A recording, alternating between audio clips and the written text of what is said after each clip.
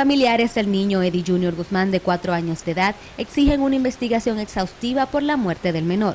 Luego de suministrarle una inyección en el centro privado Los Cubanitos en Montecristi, los parientes del infante dicen haberle llevado por una vacuna y al parecer de forma errónea al menor le aplicaron otro medicamento, el cual le cegó la vida 10 minutos después. Las autoridades forenses realizaron los estudios del lugar para determinar las causas reales de la muerte del niño.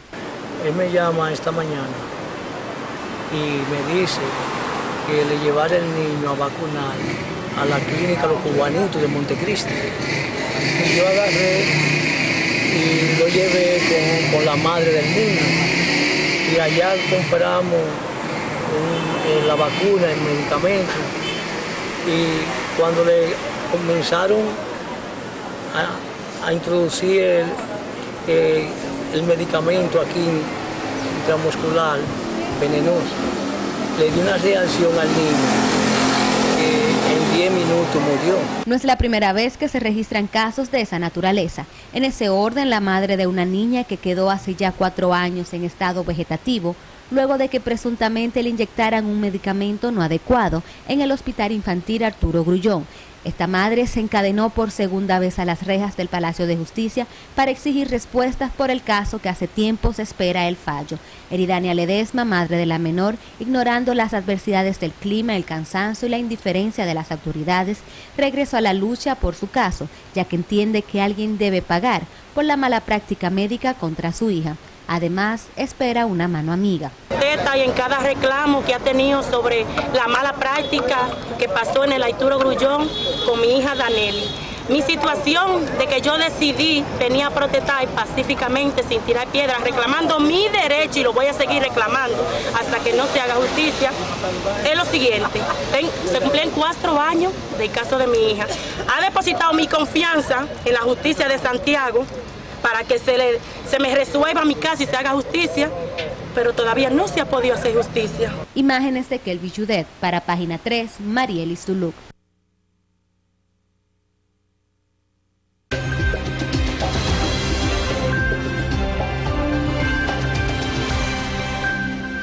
El caso de Eridania Ledesma es un caso que llora ante la presencia de lo divino. Eridania Ledesma ha demostrado ante la justicia que efectivamente hubo una mala práctica. Y no solo que Eridania lo haya demostrado, es que no ha habido ningún argumento a favor de los médicos o la médico que actuó en este caso negligentemente. La justicia tiene la obligación de proceder en ese caso.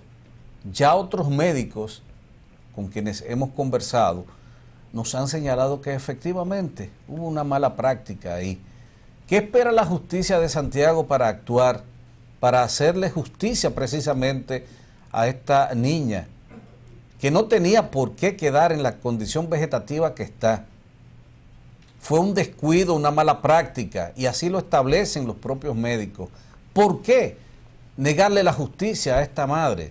¿Por qué? El caso se está ventilando en la segunda Cámara Civil que está presidida por el juez Samuel Guzmán. Me resulta a mí un tanto inverosímil que hace ya más de un año el caso está ya listo para un fallo. Eso es lo que se necesita, el fallo. Y la madre, Eridania, se reunió ya con la fiscal Luisa Liranzo y todavía está esperando el fallo en ese caso donde tú indicas ya se han eh, ventilado argumentos probatorios que en realidad hubo mala práctica médica. Entonces tú, esas son el tipo de cosas cuando hablábamos eh, anteriormente del Código del Menor. ¿Es una cuestión de leyes es una cuestión de la aplicación de las leyes que tenemos? ¿Por qué no inmediatamente? ¿Cuáles son ahí los intereses que se están moviendo, que no están permitiendo que haya un fallo, que la justicia tome cartas en el asunto y finalmente le haga justicia, valga la redundancia, a esta niña que quedó en estado vegetativo, yo creo que Luis Aliranzo tiene que revisar muy bien el caso y tiene que empoderarse de ello, porque toda la sociedad, no tan solamente de Santiago, sino del país, reclama que se le haga justicia a una menor y a una familia que ha tenido que sufrir desde hace cuatro años.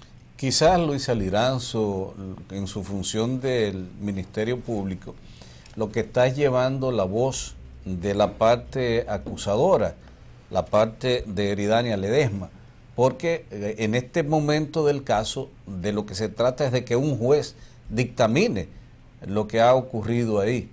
Y está muy claro, repito, hay facultativos que han establecido cuál ha sido la situación. ¿Por qué queda la niña de Eridania Ledesma prácticamente en una situación de vegetal? ¿Por qué? Y está determinado por los experticios médicos.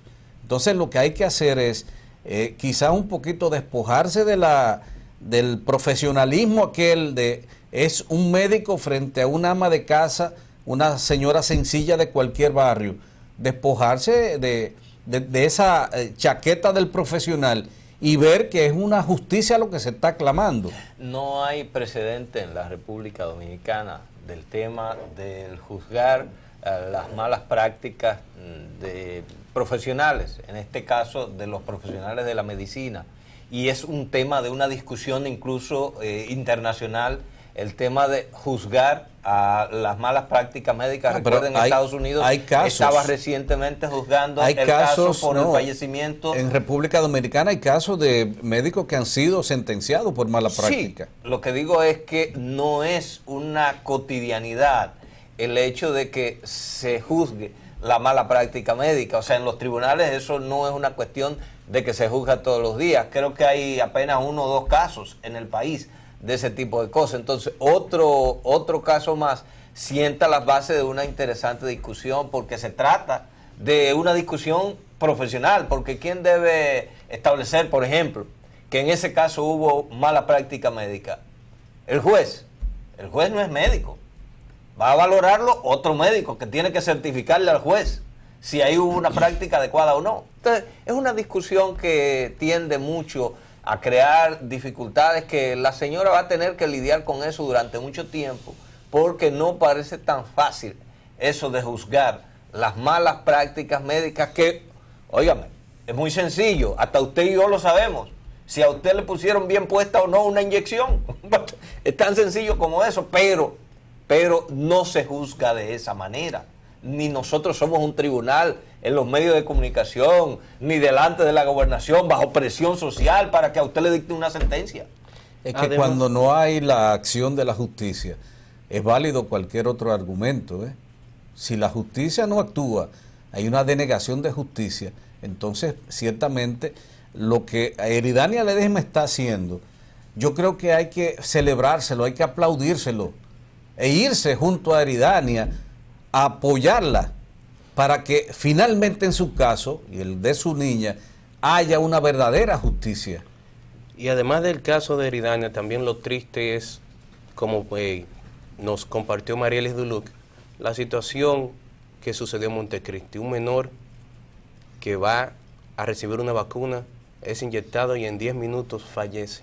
Yo creo que lo propio es una, una autopsia y que las autoridades realmente sin necesidad de que los familiares, y espero que los familiares se querellen, pero sin esa necesidad, que indaguen inmediatamente, porque la muerte de un niño en un centro asistencial, centro médico, por recibir una supuesta vacuna, yo creo que lo, apropiado inmediatamente es que los controles, tanto salud pública, realicen una investigación interna, como el Ministerio Público empiecen a mover los mecanismos para determinar por qué murió ese menor.